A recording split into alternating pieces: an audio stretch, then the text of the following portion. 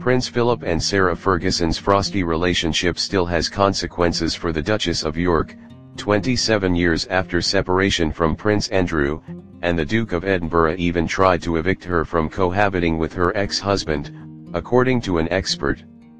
Prince Philip and Sarah Ferguson's long-standing feud has been back in the headlines this month, as the Duchess of York appeared to make a hasty exit from Balmoral ahead of Philip's early arrival.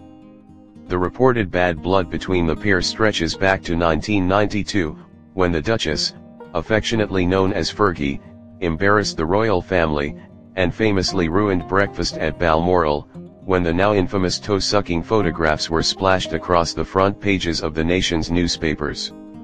However, in more recent years, Prince Philip's dislike for the Duchess has led him to attempt to evict her from the royal residence she still shares with Prince Andrew to this day, according to an expert.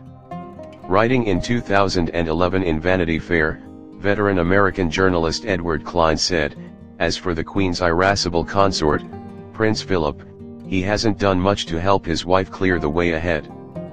Philip's almost irrational loathing of Sarah Ferguson led the Queen, who normally shows shrewder judgment, to cast Fergie out of the royal orbit without a penny after her divorce from Andrew, which guaranteed that Fergie would turn into a high-profile beggar and an embarrassment to the throne. What's more, Philip tried to bully Andrew into kicking Fergie out of her residence at Royal Lodge a demand that placed Andrew in the awkward position of having to choose between his father and his ex-wife. He chose her.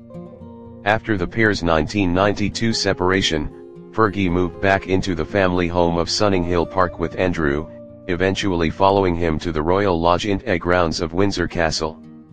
In the years since, Fergie's claims to have been award nothing in her high-profile 1996 divorce from Prince Andrew have been roundly criticized by palace courtiers. Nevertheless, the Duchess of York walked away with significantly less than Princess Diana's staggering £17 million divorce settlement in the same year.